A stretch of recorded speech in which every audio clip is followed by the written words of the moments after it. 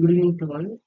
Today, let us discuss on the role of uh, supply chain and role of information chain and uh, supply chain integration.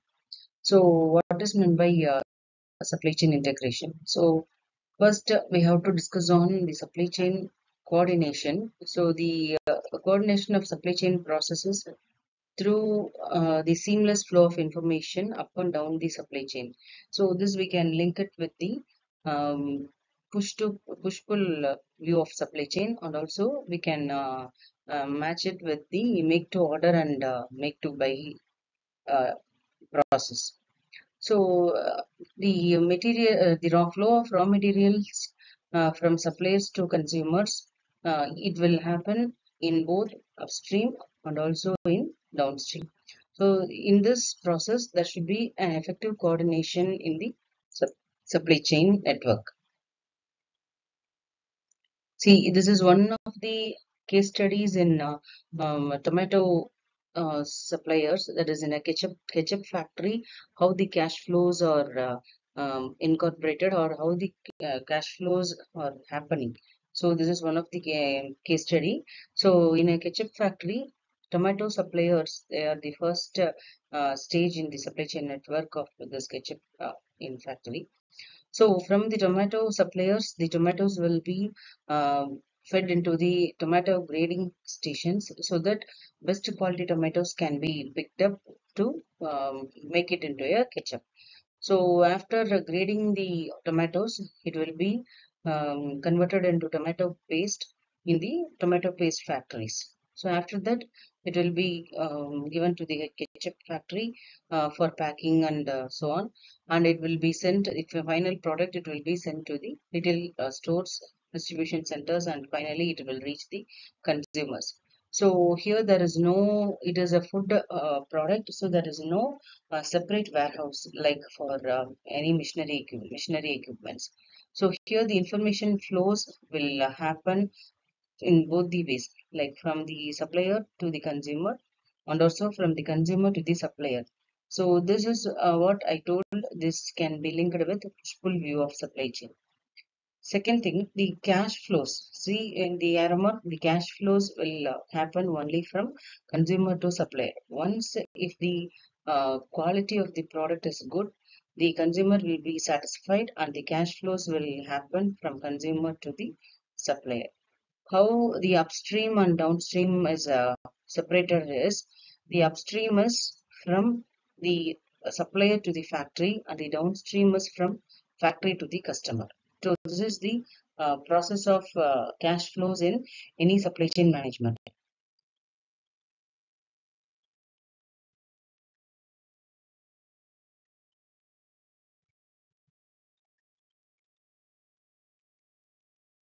So next one is the service provider. So see in the first tier supplier, uh, the support process ha happens and uh, in the product provider also the support process happens but there is a little uh, slight variation in this so new service okay new product development process and uh, business to business customer relationship customer retention how the order is fulfilled uh, whether the lead time gap is minimum or not and uh, whether uh, any external suppliers are available to finish the products like um, uh, uh, subcontracting. So uh, whether all these things are available or not.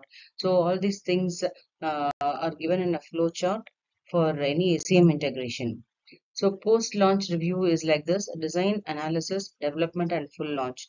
So what is the meaning of the post-launch review is any product after handing it over into the consumer or customer's hand, this post-launch review will be done by all the industries. So design uh, analysis, what is being analyzed is whether the service or the product not profitable or not. Next, uh, how what is to be developed is need to rethink the new offering or production process. When, whether any new technology should be incorporated in the um, production process or not. And then uh, again, these uh, modifications will be carried out if there is any need based on the customer feedback. Then the full launch will happen. This is the value analysis. So what is meant by value analysis? So the most important thing thing is uh, design collaboration, that is early supplier involvement and pre-sourcing, and negotiation. So obtain an effective contract that meets the price, quality, and delivery requirements. And there should be a competitive and cooperative orientation within all the stages of uh, supply chain network. Supplier relationship process. So how the supplier relationship process uh, is being um, uh, balanced, like buying procurement uh, of uh, the service or material from the supplier in some cases, e-purchasing can be done and uh, information exchange, RFID, when we discussed regarding the logistics uh, services or logistics case studies, we have discussed uh, about the radio frequency identification and uh, vendor managed inventories. So these two things are tracking methodologies which is used to track the product from uh, where it is available. Next one is order fulfillment process. So customer demand planning and facilities collaboration. So how the order can be fulfilled is first thing is demand forecast, supply for supply planning based on the forecast of the demand. And uh, when we plan the supply, when the when any industry plans for the supply of the product, it should have a proper management in its inventory and how the planning and scheduling of the entire operations uh, is taking place is also very essential to um, take into consideration. The next one is the resource planning and production.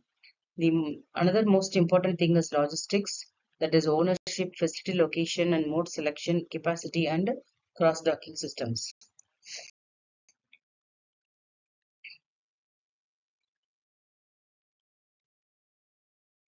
Next to CRM. We have seen CRM in detail uh, and how the CRM is linked with supply chain integration is uh, through marketing. So CRM uh, programs the identify identification, attraction, and building relationships with the customers.